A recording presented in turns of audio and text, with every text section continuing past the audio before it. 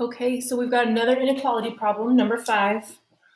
But this one says which graph represents the solution set to this inequality. Remember, solution set with inequalities means there's more than one answer.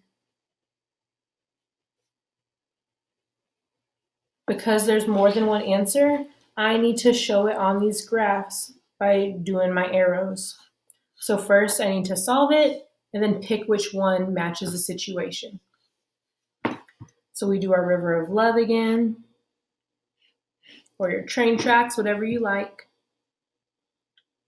And then again, we're doing sad Meg.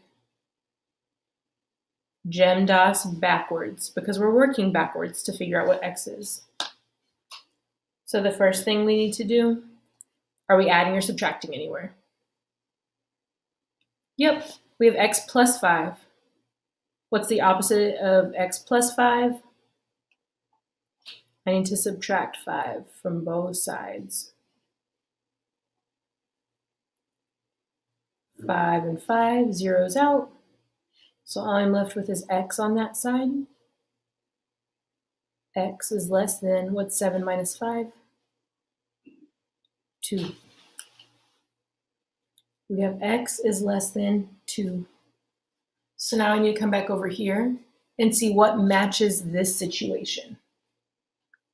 If my sign looks like that, is that going to be open or closed circle?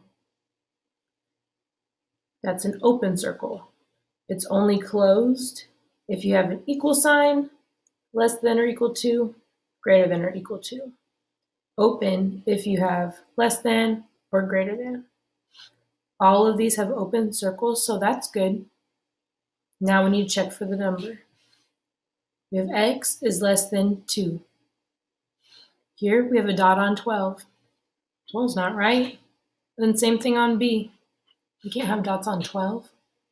So that narrows it down to C and D. This is important that you know how you say this sign.